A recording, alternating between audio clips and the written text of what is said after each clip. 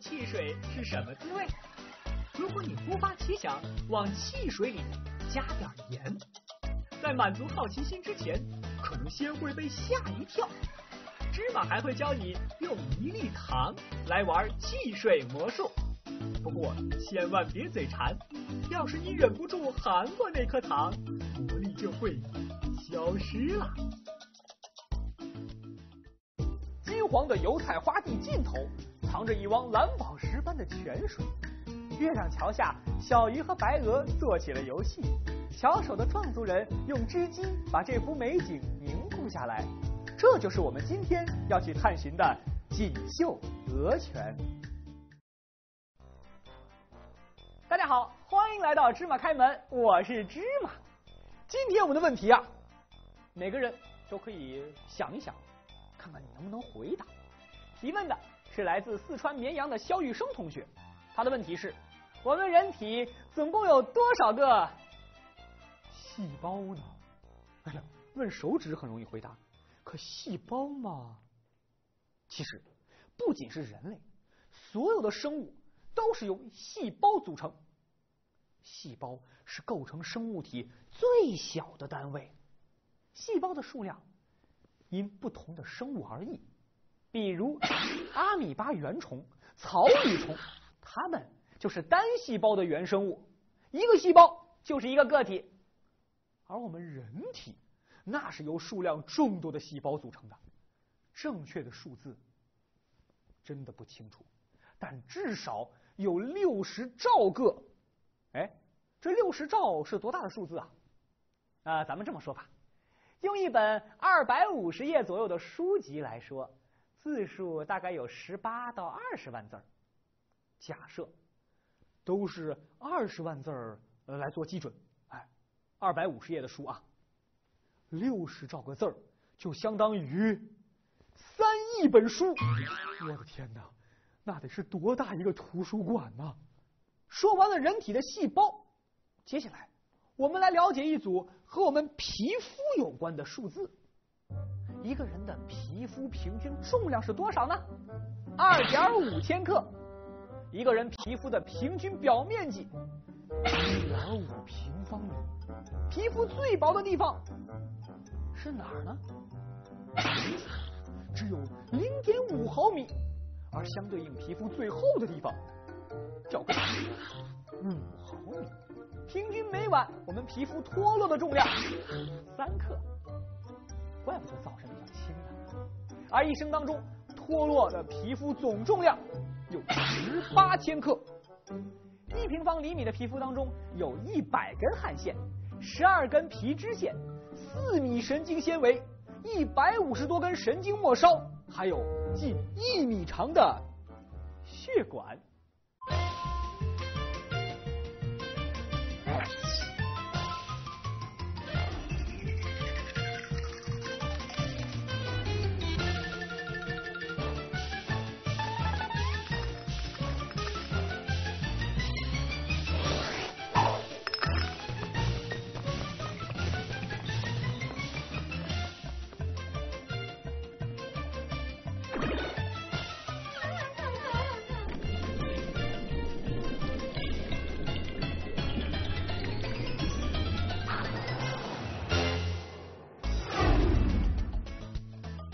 想过咸味的汽水是什么滋味？如果你突发奇想往汽水里加点盐，在满足好奇心之前，可能先会被吓一跳。芝麻还会教你用一粒糖来玩汽水魔术。不过千万别嘴馋，要是你忍不住含过那颗糖，魔力就会消失了。黄的油菜花地尽头，藏着一汪蓝宝石般的泉水。月亮桥下，小鱼和白鹅做起了游戏。巧手的壮族人用织机把这幅美景凝固下来。这就是我们今天要去探寻的锦绣鹅泉。芝麻实验室，今天我们做的实验，也许是学校里你看不到的事儿。为什么呢？首先。啊，很多我知道，同学们上课的时候，老师是不会让你们喝这个什么呀？碳酸饮料，对吧？小朋友不建议喝很多的碳酸饮料。但是碳酸饮料啊，有很多的特点，先拧一下，注意听会发生什么样的声音。哦，好，看里面现在有很多的什么？好，我把它倒在杯子里，你们看一下啊。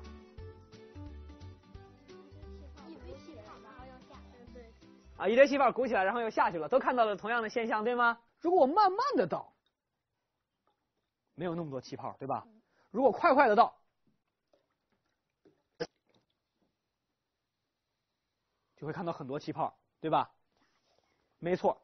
如果我们仔细的看一下碳酸饮料背后的那个配料表，会发现里面会有一种成分叫做碳酸水。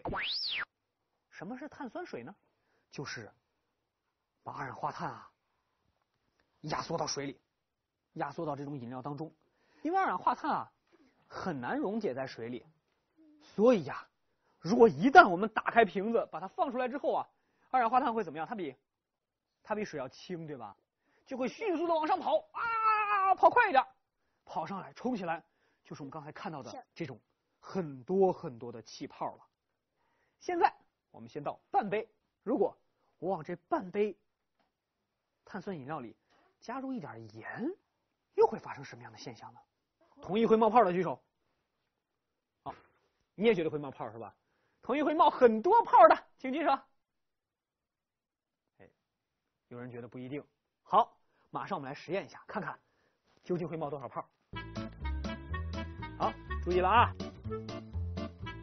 嗯，看到什么了？很多很多泡。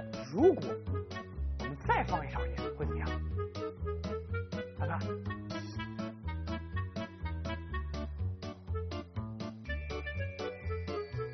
没有那么多泡泡了，是不是？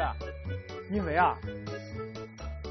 二氧化碳本来就在里面，它和水结合在一起变成了碳酸，不稳定，被第一勺的盐啊占有它的空间，二氧化碳没地方待了，怎么办啊？赶快跑吧！所以刚才我们就看到了非常非常明显的现象。你看这杯刚才没有加过盐的，我们再加一次，还会出现同样的现象。你看二氧化碳被盐占据了空间，它就会跑掉。这种由于物体挤占了气体的空间产生的冒泡现象，哎，咱们叫做泡腾现象。实际上呢，不同的物质啊，在水里的溶解度都不一样，气体也如此。哎，气体在水中的溶解度都不同。如果改变了这些物质的条件，哎，那气体在水中的溶解度也会发生变化。为了证明这个道理，我们再来做一个好玩的实验，同样还会用到。碳酸饮料，咱们一人先发颗糖，先不能吃啊！现在每人手里有一颗糖，下面我们有请最小的这位同学，先把这颗糖含在嘴里，告诉我什么感觉？很甜。嗯，还有什么感觉？舌头上有没有那种很多东西在哎冒小气泡的感觉？有吗？有点。有点啊！好，含住，别咽了啊！一会儿你这颗糖要做我们的实验道具，不许咽，知道吗？含住，嘴长，打开。我一声令下，你们俩把这两粒糖放到饮料当中。三二一，放！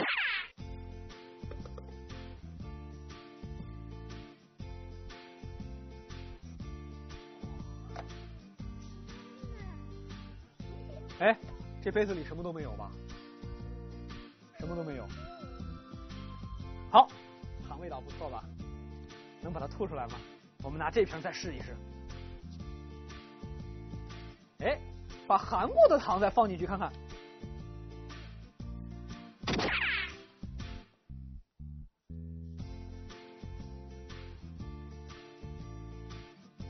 怎么样？怎么样？没有了。我现在再把这颗糖放进去？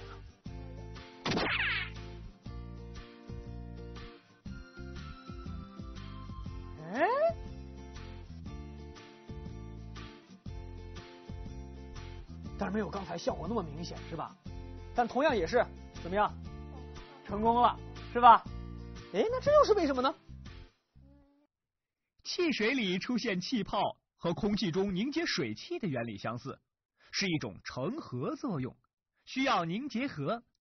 杯子上微小的裂缝或是凸起，或者是饮料中的杂质，都可以成为凝结核。也叫做起泡点。往汽水里加入薄荷糖，就相当于加入了大量的起泡点。糖表面看起来很光滑，但在显微镜下，就像是月球表面，密集的布满了凸起和小坑。大量的气泡就在这凹凸不平的表面产生了。所以，除了薄荷糖，其他表面粗糙的物质也有可能让汽水喷发。仔细想一想，刚才那位小朋友把糖含在嘴里含了一会儿之后，再放到碳酸饮料当中，就没有气体集中喷发的现象了。为什么呢？因为我们之前所说的那一个一个小坑洞已经不存在了，于是这颗糖的作用也就没用了。这回啊，咱们就用普通的水，来往里面放进去一个很特别的小药片。就这样一个普普通通的，我们俗称的泡腾片，放到清水里会怎么样？冒泡。冒泡是吧？哎，我们看看是不是真的会冒泡呢？一点点的。气体释放出来了是吧？泡腾片加入水中之后呢，原来的固体啊会产生很多的一个一个的小气泡，小气泡就是一个一个的球体对吧？增加了接触的面积，所以泡腾片方便携带的同时呢。就更容易吸收了，对吧？它也更容易溶解在水当中。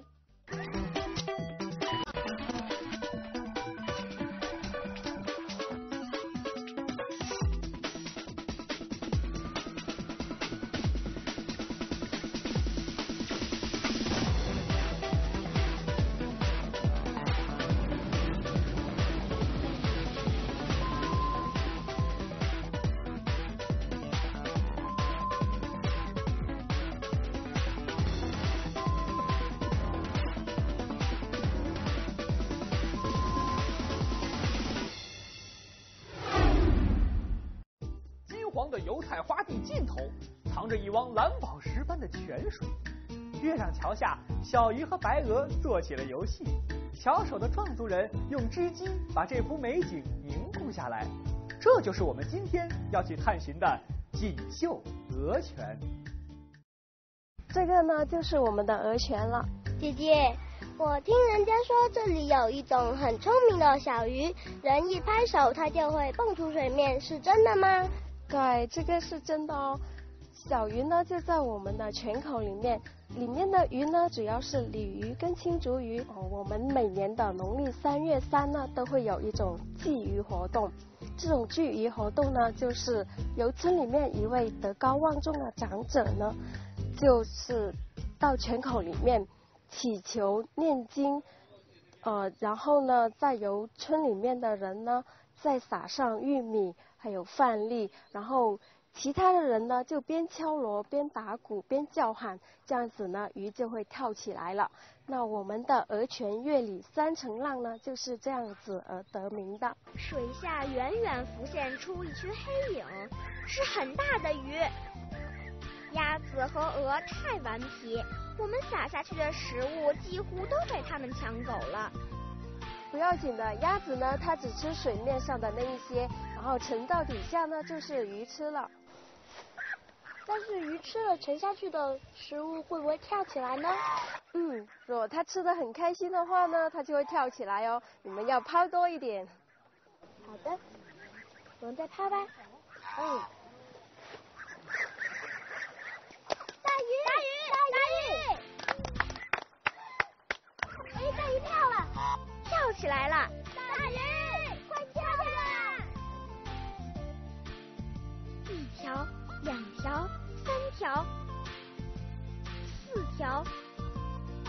瞧，这些鱼真的是在回应我们。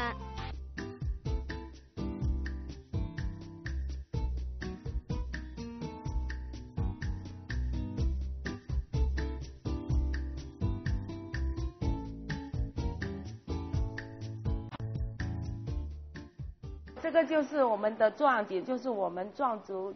那个人民织出来漂亮的壮结，这个的话就是凤凰，这凤凰的是我们呃壮族人民崇拜的图腾，然后这些是羽人，阿姨，这羽人是什么意思？这羽人就是我们壮族古代的人们，他们打猎回来，把那个羽毛插在头上，就打猎的都装的羽毛是最多，到时候他们就是首领。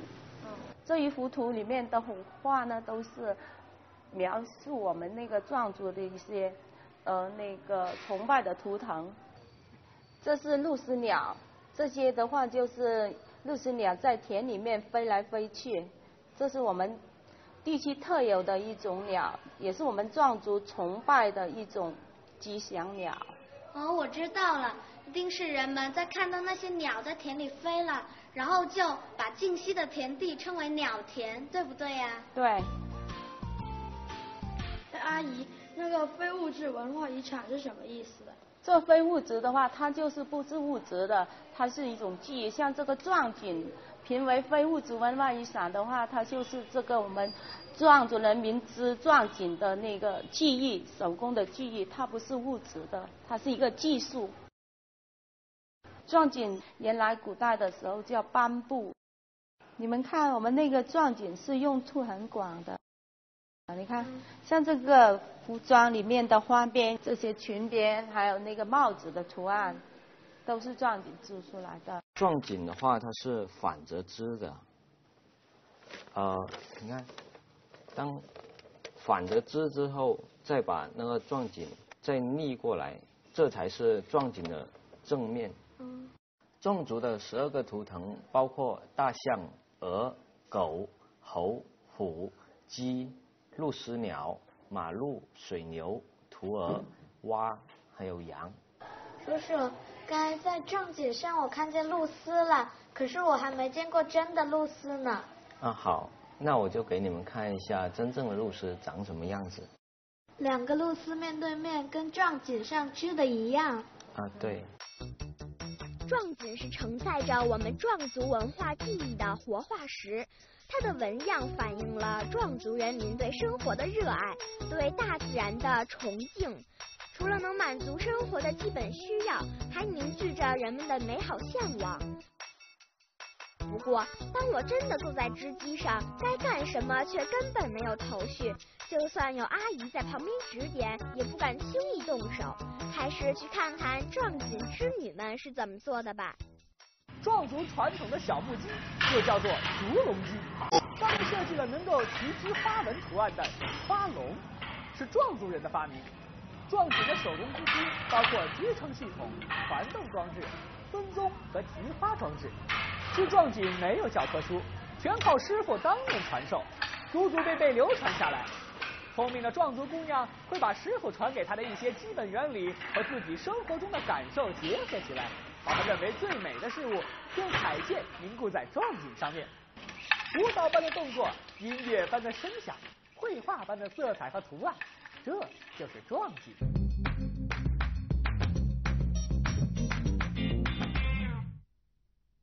今天的节目就是这样。我们的互动问题是：一个人皮肤的平均重量。如果知道答案的话，赶快告诉我。